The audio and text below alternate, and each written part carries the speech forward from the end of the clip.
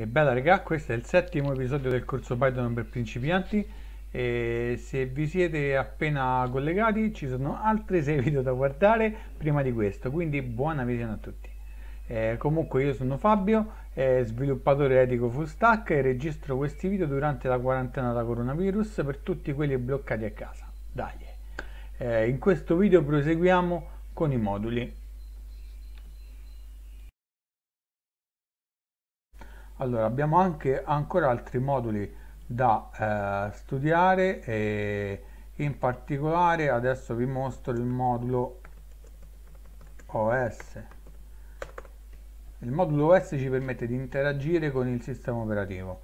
Allora, vi mostro alcune mh, velocemente perché siamo un po' corto con il tempo, è già passata circa un'ora e mh, dopo diventerebbe troppo lungo il corso, quindi eh, questa puntata del corso. Allora, il modulo OS ci permette di interagire con il sistema operativo, lo importiamo, questo non ha bisogno di essere installato e allora cosa possiamo fare con questo modulo OS?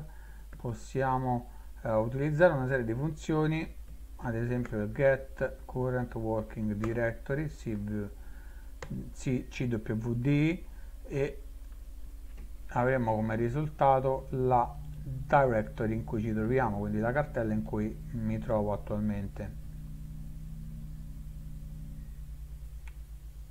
Che è questa qui. Abbiamo anche un'altra funzione che ci permette ad esempio di ehm, inviare dei comandi di sistema. Utilizziamo la eh, funzione sys stem a questa possiamo passare una stringa che contiene un comando uh, che essenzialmente sarebbe lo stesso che digitiamo qui. E eh, in questo caso o, eseguiamo il nostro file e il comando viene eseguito dal nostro script Python eh, e otteniamo questo risultato qui. Quindi la lista di tutti i file contenuti in questa cartella in cui mi trovo attualmente. Possiamo anche utilizzare un'altra funzione. Le funzioni del modulo OS sono moltissime ci sono anche dei sottomoduli e ad esempio possiamo utilizzare eh, la funzione eh, OS list, list dir e ci mostra dei directory file eh, di una determinata path quindi in questo caso una determinata eh, posizione e una volta che lo eseguiamo che succede adesso ok allora una volta che lo eseguiamo eh, vediamo che come risultato abbiamo sotto forma di lista tutte le cartelle e i file, tutti i nomi delle cartelle e dei file contenuti nella directory che io ho specificato qui tra le parentesi, quindi in questo caso la directory eh, è, è la directory principale. Poi un'altra uh, funzione che possiamo utilizzare ad esempio è um, un attributo uh, in realtà. Allora l'attributo environ ci dà accesso sotto forma di dizionario alla um, all'environment all'ambiente uh, del nostro sistema operativo. In questo caso io seleziono la path che è una variabile di sistema che contiene una serie di directory dove il sistema operativo eh, cerca per eh, eseguire alcuni programmi e otterrò come eh, risultato in questo caso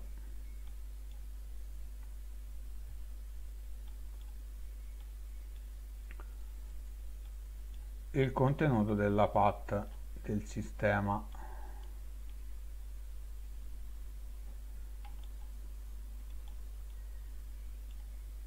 poi eh, quindi nel primo esempio abbiamo utilizzato un get cvd eh, get current working directory che come risultato ci dà la directory corrente di lavoro. Nel secondo esempio abbiamo utilizzato eh, il dizionario environ e il metodo get questo eh, in realtà è l'ultimo esempio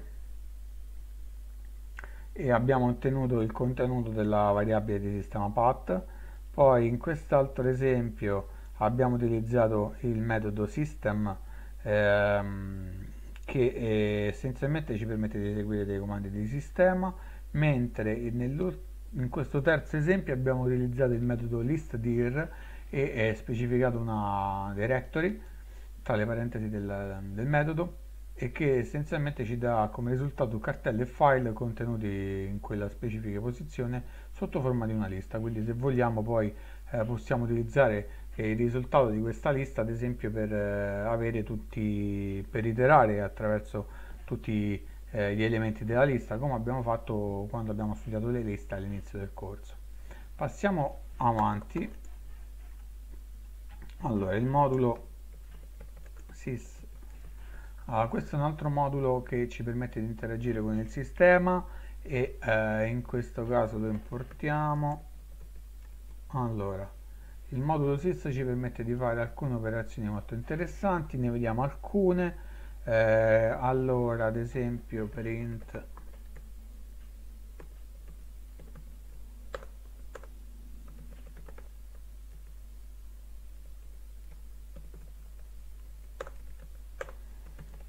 non ve lo spiego tra un attimo che cosa sono.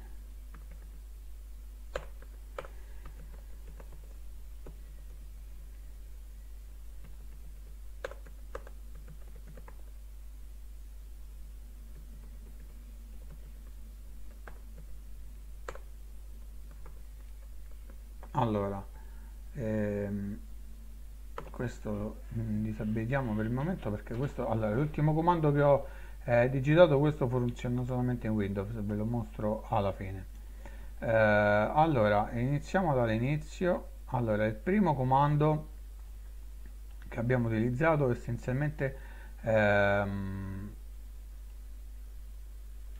ci dà come risultato ehm, il contenuto della versione, il, la versione dell'interprete Python che stiamo utilizzando allora dov'è il risultato qui. Allora in questo modo abbiamo il risultato della versione questa è la versione dell'interprete Python l'orario e eh, altre informazioni eh, relative sempre a interprete che se volete potete verificare in questo modo. Vedete la stessa informazione che ottenete qui. Quindi il, la versione del sistema operativo eh, la data e altre informazioni compreso il kernel Linux. Eh, poi allora eh, la l'attributo version info eseguiamo di nuovo il codice. Questo attributo ci dà accesso a ehm, a un tuple che sarebbe questo che contiene le informazioni relative alla, ai cinque componenti della versione della versione del, dell'interprete quindi mh, mm, maggiore 3 minore micro ehm, livello della release quindi la release finale e il serial eh, poi eh, te nel terzo esempio quindi la platform il sys.platform questo attributo ci dà accesso al eh, nome identificativo del sistema quindi in questo caso abbiamo linux. Poi nell'ultimo esempio che ho fatto qui sysargv eh, il quarto esempio praticamente dà eh, come risultato una lista di argomenti ehm, passati alla riga di comando ehm, tramite uno script. Quindi in questo caso il risultato è solamente questo ma se ehm, ad esempio chiamiamo questo script manualmente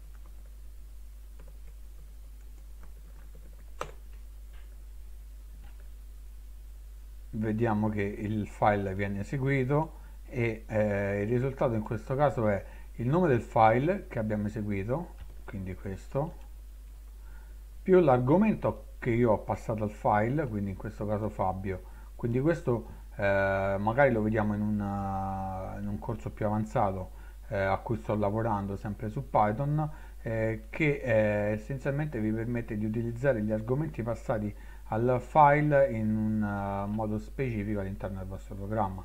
Quindi se il vostro script accetta una serie di argomenti potete utilizzarli per uh, varie situazioni.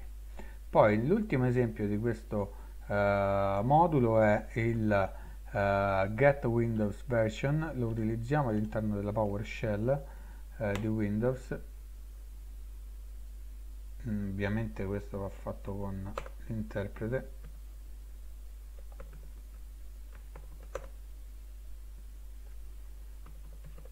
allora innanzitutto dobbiamo aprire l'interprete e poi possiamo copiare il nostro um, ok ovviamente non l'ho importato. Allora dovete prima importare il modulo come abbiamo fatto in questa riga e poi potete utilizzare la funzione eh, get windows version. In questo modo abbiamo come risultato la versione del sistema operativo cui, che, che sto usando quindi Windows 10.0 e la uh, build è la, la 18362 platform 2 service pack e non, non c'è nulla quindi una riga vuota. Poi ripassiamo all'altro alla mia ID e eh, vediamo un altro modulo allora questo modulo che vediamo a breve ci permette di eseguire alcune, relative, alcune operazioni relative al sistema eh, al file system quindi al file di sistema e, ehm, e al sistema operativo. Quindi eh, questo modulo si chiama shutil allora ehm, lo importiamo se il modulo non funziona è perché lo dovete installare. Non ricordo esattamente se questo modulo va installato ve lo dico subito. Allora. No il modulo SHUtil dovrebbe essere eh, parte della libreria standard di Python quindi lo potete utilizzare immediatamente semplicemente eh, una volta che lo avete importato all'inizio del vostro file quindi in questo caso eccolo qui allora il modulo SHUtil lo possiamo utilizzare in questo modo. Print come anche gli altri. Allora come vedete dopo il spunto abbiamo accesso a una serie di eh, operazioni quindi una serie di metodi che possiamo utilizzare. Il primo metodo è il uh, metodo which ma ce ne sono molti altri tra cui copy, move, eh, rm3 rimuovere il tree quindi ognuno di questi ovviamente ha la sua descrizione all'interno dell'IDE e vediamo un vediamo questo uh, metodo. Allora questo metodo come immaginerete ci darà come risultato l'utilizzo del disco rigido quindi che quanta porzione del disco rigido è utilizzata o meno allora ed eccolo qui alla fine usage total quindi il totale del disponibile usato e libero spazio libero. Uh, un'altra operazione che possiamo fare allora print. Ad esempio utilizziamo questo. Eh, allora ad esempio vediamo qual è la versione di php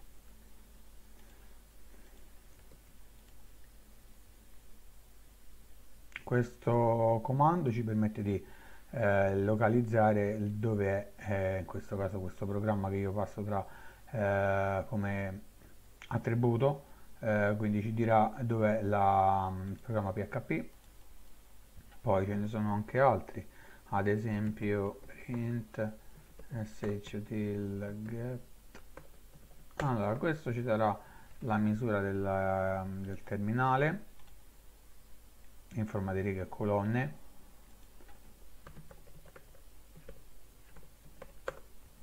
Poi allora vedete questo ci dice che il terminal del sistema operativo è, è composto da 111 colonne e 9 righe. Se io lo, lo restringo in questo modo vedete che il risultato cambia. Riesuiamo un'altra volta il codice e in questa volta è di eh, 5 linee e 111 colonne. E quindi potete utilizzare queste informazioni questo è un tuple potete, potete utilizzare queste informazioni per fare varie cose a seconda delle necessità del vostro programma. Print un'altra operazione che eh, come dicevo potete utilizzare operazioni per eh, interagire col sistema operativo quindi potete anche copiare file. All'interno di questa cartella ho un file chiamato test.txt allora shtil copy. Allora il metodo copy accetta due parametri anzi tre ma uh, um, questi sono obbligatori. Eh, i primi due è la sorgente quindi è una stringa. E poi la destinazione quindi questo essenzialmente allora questo già è presente lo cancelliamo. Allora questo fa questo comando essenzialmente copia il file test.txt e crea un nuovo file che lo, e lo chiama new test.txt ed eccolo qui. Ovviamente ci sono molte altre operazioni come al solito eh, come ho detto anche per gli altri moduli eh, dovete vi consiglio di leggere la documentazione. Il prossimo modulo ps util questo modulo va installato non è disponibile nella libreria standard di Python, lo potete fare in due modi, se siete in ambiente Linux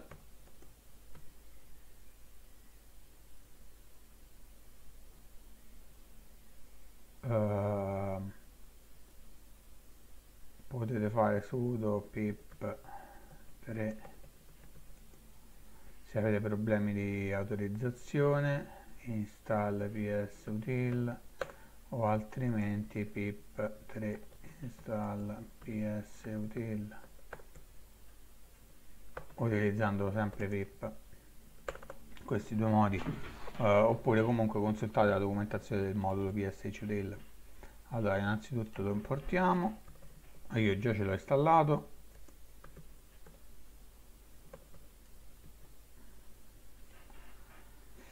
Allora, una delle funzioni, mh, mm, questo modulo eh, ha varie funzioni che sono molto interessanti. Allora, mh, mm, iniziamo da uh, una funzione chiamata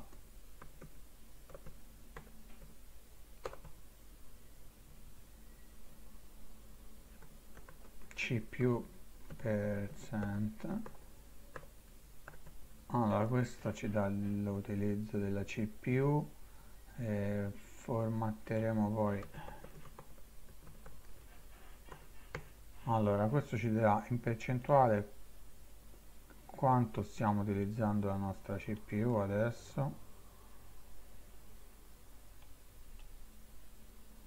se vogliamo possiamo formattare il risultato utilizzando una delle ehm, uno dei metodi sulle stringhe che è questo. Questa è una stringa. E il risultato sarà una percentuale. In questo caso ci dice che il mio sistema sta sfruttando la CPU al 76-40% abbastanza sovraccarico direi e eh, ogni volta che lo eh, eseguiamo otterremo un risultato diverso a seconda di quanto è il carico della, sulla CPU in questo momento sto registrando quindi il carico è più alto, ho chiuso la PowerShell, quindi il carico è diminuito e quindi a seconda delle esigenze potete utilizzare questo eh, modulo per verificare se nel sistema che, in cui gira il vostro script il sistema è sovraccarico, quindi magari farete un'operazione quando il uh, consumo della CPU scende ad esempio sotto il 50%, se è più alto eh, non lo farete. Eh, insomma poi dipende a seconda dei vari casi.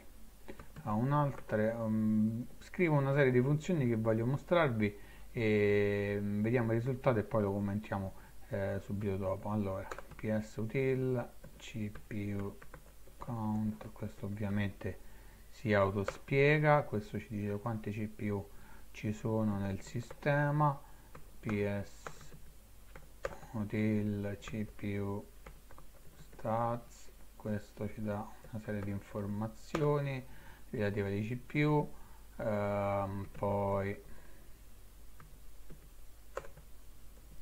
get load average.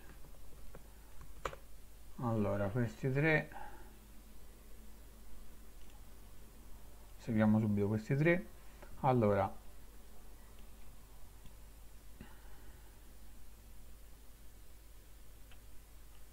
Questo è il carico della questo è il carico sul sulla CPU questi sono i core quindi quanti CPU ha il mio sistema? 8 core quindi 8 eh, queste sono alcune informazioni eh, relative alla CPU e questo è il carico medio eh, sul CPU credo. Eh, non sono sicuro riguardo questo. Allora vediamone altri. Uh, ps till allora questo ci dà delle informazioni sulla virtual memory. Ovviamente ce ne sono una marea di eh, metodi che potete utilizzare relativi a ciascuno dei moduli quindi per, per ognuno per, per manca la R per ognuno eh, c'è la documentazione e quindi la potete studiare eh, prima di utilizzarla. Poi ne copio alcuni che li ho annotati. Allora questi. Allora il, questo, questo metodo ci dà accesso alle mh, partizioni dell'hard disk. Qua ci dice quanto disk stia, hard disk stiamo utilizzando relativo a una determinata uh, posizione. Uh, qui abbiamo delle informazioni relative ai network.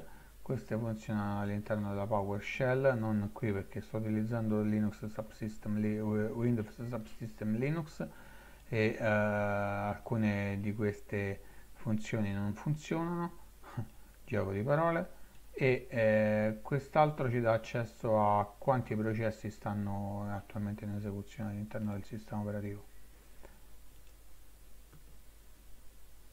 Salviamo eseguiamo nuovamente il nostro codice. Vado un po' più veloce perché è passata un'ora e mezza e il tempo a nostra disposizione si sta per esaurire.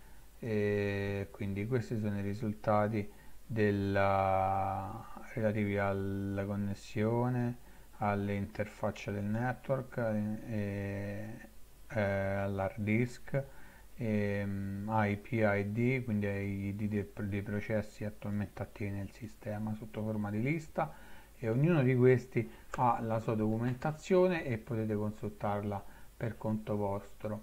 Poi un altro modulo molto molto interessante è il modulo PIL, ho salvato un'immagine eh, all'interno della cartella che è questa e eh, il modulo PIL ci permette di fare il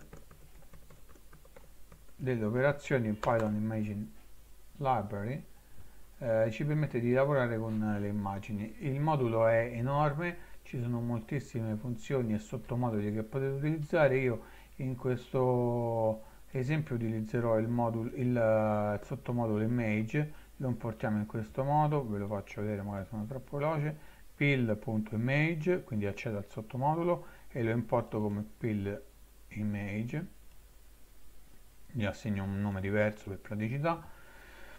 Poi ehm, definisco una variabile immagine a cui eh, a, faccio seguire quindi il risultato di questa operazione che faccio attraverso il modulo pill. Eh, quindi seleziono il nome che ho assegnato al modulo. Poi utilizzo il metodo open che mi permette di aprire un'immagine e salvo il suo contenuto all'interno della variabile immagine. Eh, posso stampare l'immagine le informazioni relative all'immagine non stamperò sul terminal l'immagine stessa ma alcune informazioni relative all'immagine. E eh, come vedete tra un momento quando tutto questo finisce allora queste sono le informazioni relative all'immagine mi dà la dimensione, il eh, schema colore, quindi RGB e questo è il nome della altre informazioni relative all'immagine. Questa è la posizione dell'immagine rispetto alla memoria.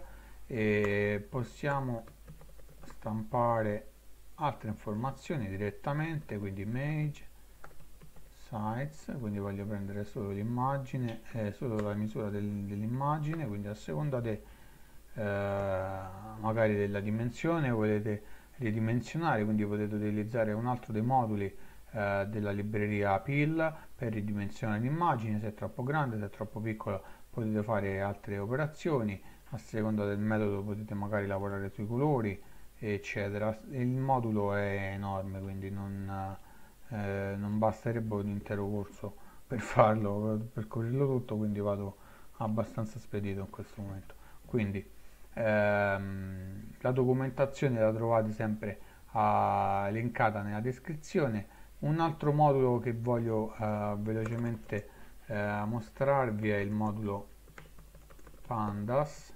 Questo modulo viene utilizzato per lavorare con dati strutturali. Ehm, e anche questo è abbastanza complesso, è esteso e potete quindi consultare la sua documentazione e come al solito il link è nella descrizione, lo importate. Allora il modulo pandas se non erro è, è da installare. Potete installarlo col comando pip3 o pip se siete in windows install pandas e una volta che l'avete installato potete fare eh, essenzialmente una cosa del genere. Eh, poiché siamo in ambito coronavirus ehm, vediamo un po' eh, infetti. E un, creiamo due variabili. A ogni variabile assegniamo un una, una lista di valori in questo caso sono numeri a caso ok ho preso 1 2 3 4 eh, 5 valori a caso poi eh, un'altra variabile infetti e morti. Eh, 12 3 5 6 quanti valori sono? 1 2 3 5 valori. Allora ehm, prendiamo la prima variabile. Allora, la prima lista e la eh, organizzo la ordino in uh, ordine ascendente. Poi prendo le morti e le ordino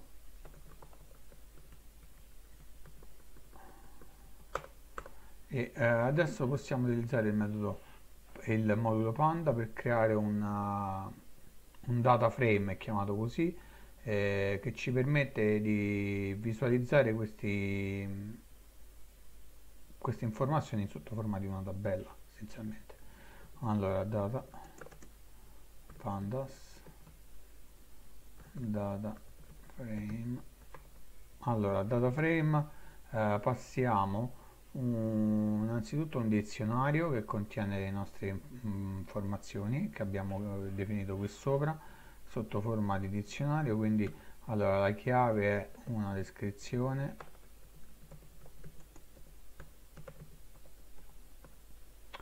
E eh, qui passiamo la lista infected poi un altro valore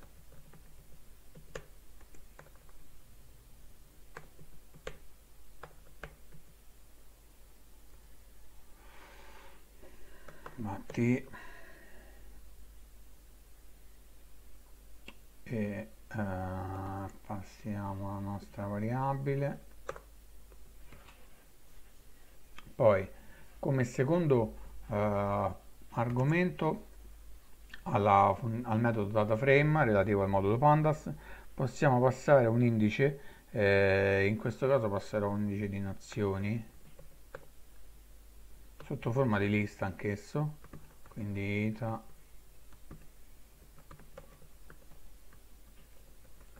sono a caso.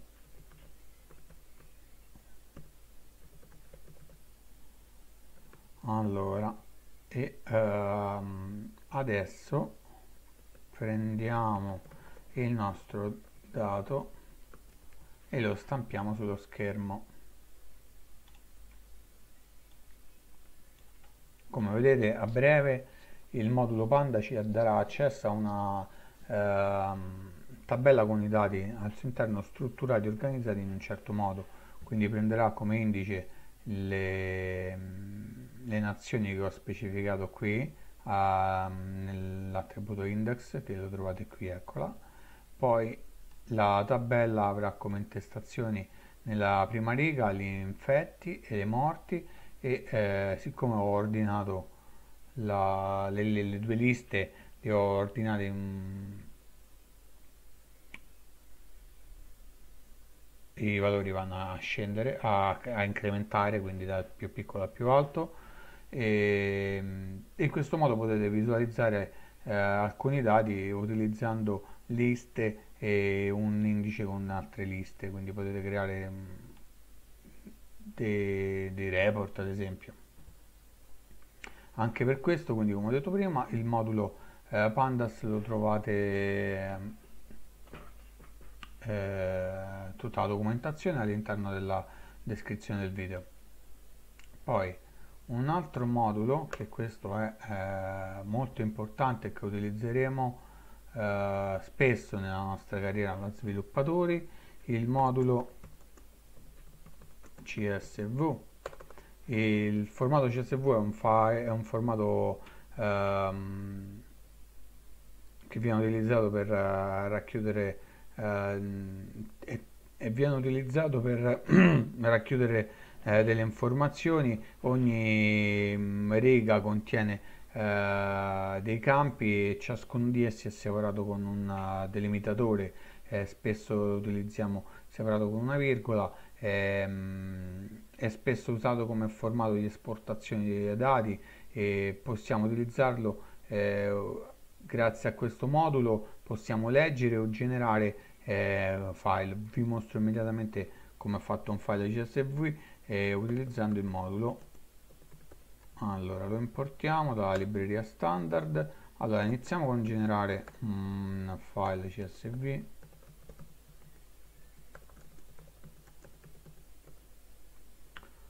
allora lo generiamo in questo modo. Allora eh, crea una variabile crea una variabile eh, employees a cui assegno eh, una lista eh, che contiene eh, una lista di elementi liste di elementi quindi questa è la prima lista. All'interno della lista ci sono altre liste ciascuna delle quali contiene degli elementi.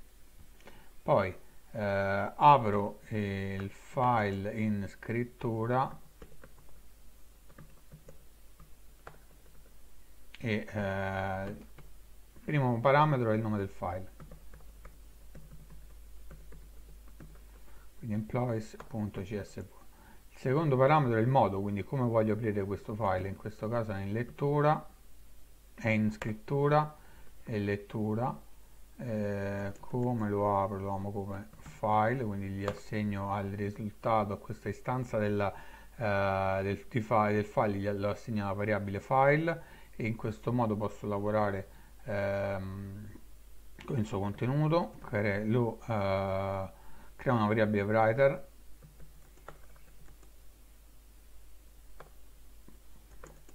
E la variabile writer la assegno al modulo csv al risultato di questo uh, metodo che è il metodo writer mi permette di scrivere all'interno del file e il metodo writer vuole una serie di argomenti ma uno è essenzialmente obbligatorio che sarebbe il nome del file il contenuto del file quindi file e come vedete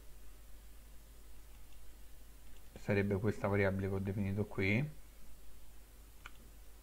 E uh,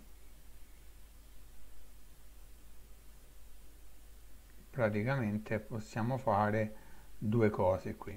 Allora o uh, utilizzare questa variabile employees che contiene questa lista con una serie di elementi e creare eh, un, e creare eh, il nostro file csv con questa informazione all'interno. E eh, lo utilizziamo write rows. Quindi la, il metodo write rows essenzialmente ci permette di ehm, inserire più righe simultaneamente. Quindi in questo caso gli passo come parametro una lista di liste eh, che contengono valori che voglio facciano parte del file csv e eh, poi un'altra cosa che volendo posso fare è utilizzare la funzione writer ehm, write row quindi rigola, ehm, scrivo una riga singola e all'interno della quale passo una lista ehm, quindi questo metodo scrive una riga alla volta essenzialmente. E ad esempio passiamo una lista di ehm, un altro dipendente eh, 50 allora questo è il numero allora se io lo copio questo allora praticamente eh, write row scrive un'unica riga alla volta mentre write rows scrive più righe, te, mm, più righe in una volta sola. E essenzialmente quindi questa eh, ha bisogno di un valore iterabile quindi una, una lista eh, a sua volta che contiene gli elementi che io voglio scrivere all'interno del file. Quindi il file che verrà generato ce ne avevo già uno lo cancelliamo. Allora il file che verrà generato essenzialmente conterrà le informazioni che io ho eh, definito qui all'interno della eh, di questo script. Quindi apriamo il file. Vedete il file adesso contiene 1 2 3 5 righe. Ogni rigo ha un'informazione eh, specifica relativa ai dipendenti quindi eh, il nome del dipendente l'età e, e, il suo ruolo e, ehm, possiamo oltre che scriverlo possiamo anche eh, leggerlo. Quindi una volta che eseguiremo il nostro file vedrete subito che il risultato del file il contenuto del file verrà mostrato qui nella riga di comando. Eh, quindi come lo leggiamo questo file csv lo leggiamo nello stesso modo in cui lo apriamo più o meno e, e qui bisogna mm, indicare il nome del file. In lettura che quindi è il metodo di base quindi di base il, la, la, funzione open apre il file in lettura e um, utilizzo la parola chiave with perché eh, questa praticamente mi permette di aprire e chiudere il file senza doverlo chiudere successivamente. Quindi lo chiude una volta che ho finito. Eh, altrimenti ci dobbiamo ricordare che se utilizziamo solamente la funzione open in questo modo poi il file rimane aperto e lo dobbiamo chiudere altrimenti resta aperto. Ehm, in questo modo viene chiuso. Allora leggiamo il file utilizzando il metodo csv reader e eh, passiamo al contenuto del file che è salvato una variabile file. E eh, poi dobbiamo iterare mh, mm, mh, mm, per ogni rigo quindi.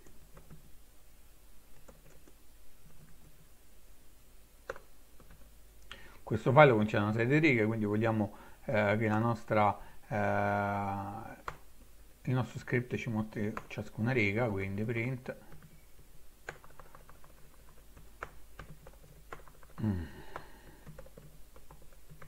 in questo modo il nostro script ci mostrerà ciascuna riga all'interno della nostra riga di comando qui.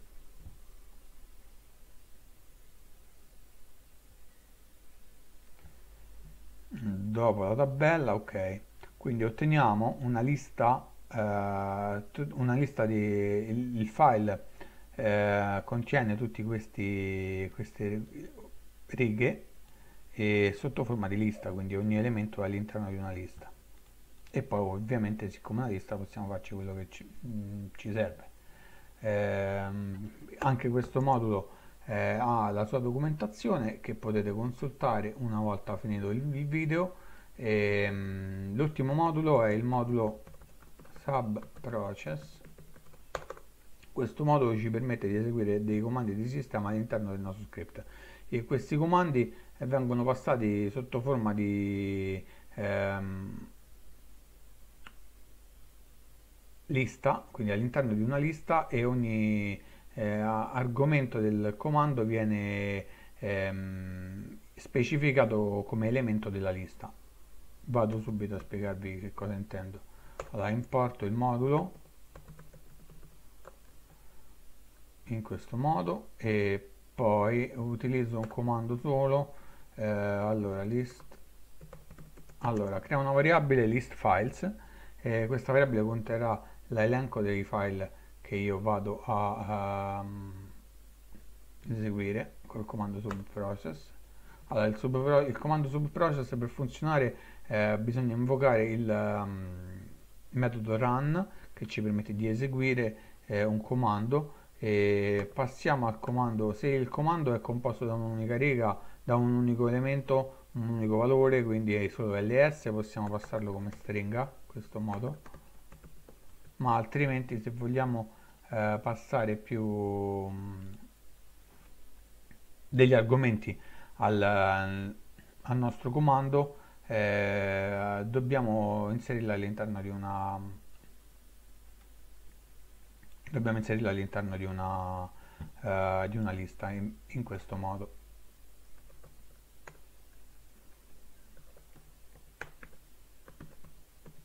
e gli argomenti eh, vanno indicati come elementi della lista.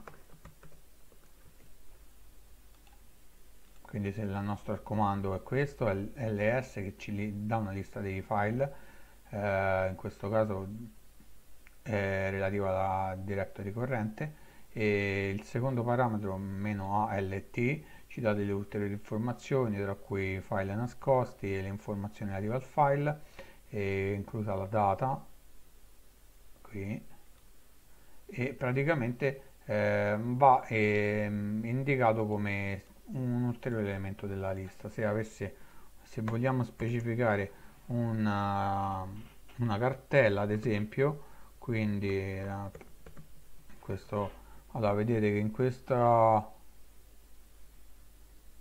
qui in questa posizione c'è anche una cartella. Se io voglio solamente i file all'interno di questa cartella posso specificare come parametro aggiuntivo eh, il nome della cartella come elemento um, della lista e otterrò come risultato tutti i file all'interno della cartella in questo caso chiamata wrapmaker che fa parte dell'ultimo eh, del progetto finale per questo corso che ovviamente non facciamo in tempo a vedere in questo video ma lo vediamo nel video successivo. Allora ehm, quindi come ricapitoliamo il, comand il comando e i suoi argomenti vengono passati come elementi di una lista.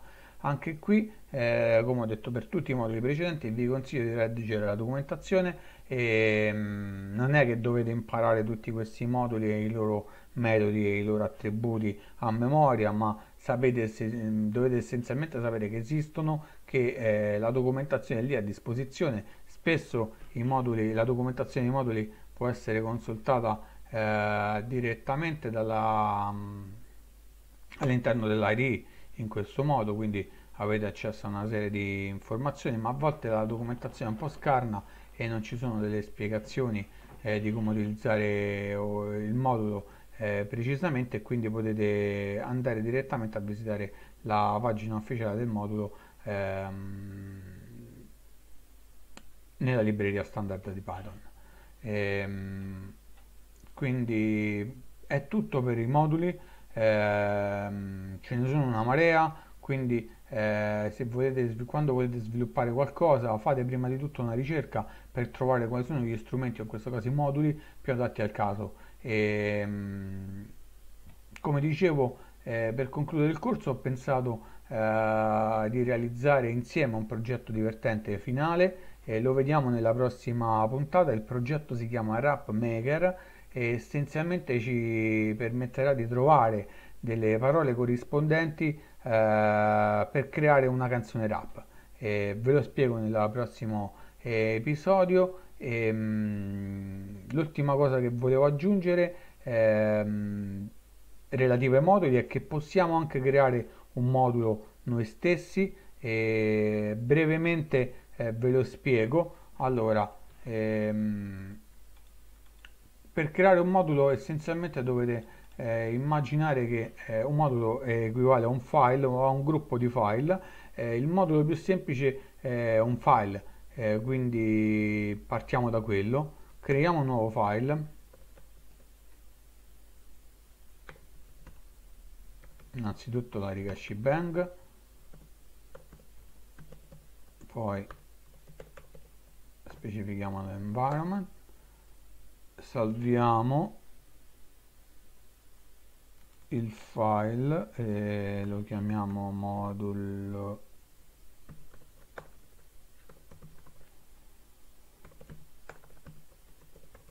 esempio modulo.python ok module example.py questo è il nome che ho assegnato al file. E in questo file essenzialmente che cosa facciamo? Possiamo definire eh, funzioni attributi eh, funzioni strutture variabili eh, di dati insomma creare una serie di funzioni che poi vogliamo utilizzare all'interno di un altro file o, o ripetutamente all'interno del nostro programma. Quindi ad esempio ehm, definisco una funzione ehm, trovami la funzione accetta un uh, parametro ad esempio nome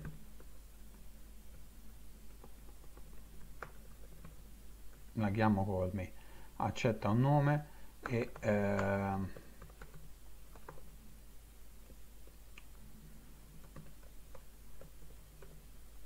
ah, vado a braccio adesso un attimo poi vi spiego eh, allora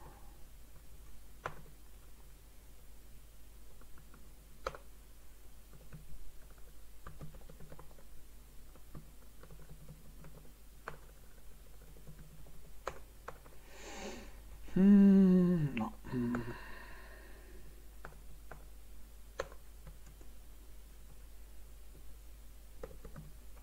Allora una cosa più semplice che mi è venuta in mente al volo per spiegarvi come funziona. Allora ho creato una funzione all'interno di questo file e mh, la funzione accetta un parametro e, mh, il parametro e successivamente ci chiede un input quindi ci chiede il nostro nome e poi ci saluta essenzialmente. Quindi greeting sta per eh, saluto quindi possiamo dire ciao possiamo specificare una stringa all'interno di questa funzione e, e poi mh, mm, invocare questa funzione con qualsiasi tipo di saluto che vogliamo. E mh, mm, ci chiede il nome e quindi poi eh, ci saluta essenzialmente allora se io voglio utilizzare questo modulo quindi questo modulo in questo caso essenzialmente è un file che contiene una serie di funzioni o valori quindi possono essere anche liste, strutture dei dati, ehm, variabili, eh, eccetera. Quindi ehm, innanzitutto dobbiamo importarlo, quindi from, utilizziamo la parola chiave from per importare questo modulo e mh, mm, la parola chiave from è seguita dal nome del modulo.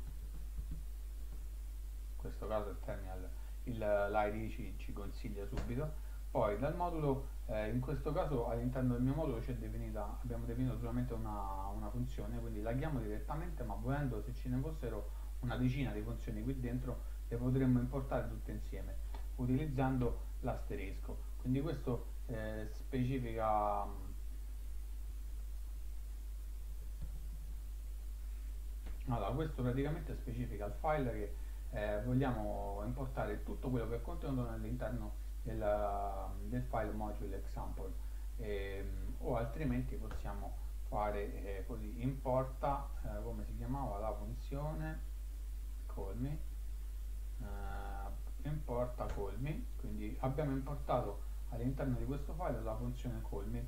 Adesso la possiamo utilizzare essenzialmente quindi abbiamo creato un modulo e questo modulo ci permette di, ci permette di utilizzare le funzioni contornate all'interno come abbiamo fatto per il modulo che abbiamo visto adesso? No? questo è un modulo che abbiamo definito noi stessi. Quindi il, um, il modulo si chiamava formi vedete me lo suggerisce immediatamente formi. Il modulo accetta una stringa a cui possiamo dire possiamo inserire una so, bella. E lo chiamiamo questo modulo. Invochiamo quindi la funzione in questo modo e eh, eseguiamo il codice.